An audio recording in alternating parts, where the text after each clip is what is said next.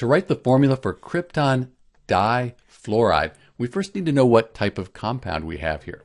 So if we look at the periodic table organized by metals, nonmetals, and metalloids, we find Kr for krypton, that's right here. So that's a nonmetal. Fluoride, that's our fluorine right here. That's a nonmetal. So two nonmetals, that means that we'll have a molecular, also called a covalent compound. So we're going to use these rules here to write the formula. First off, we'll write the element symbol for both of the elements. Krypton, that's Kr. Then fluoride, that's from fluorine, so we'll have F.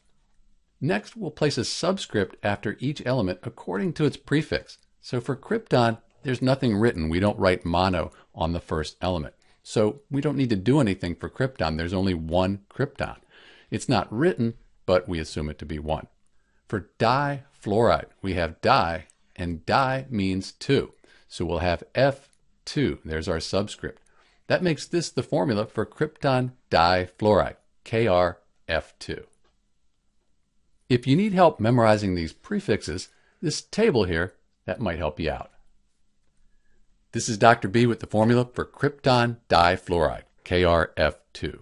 Thanks for watching.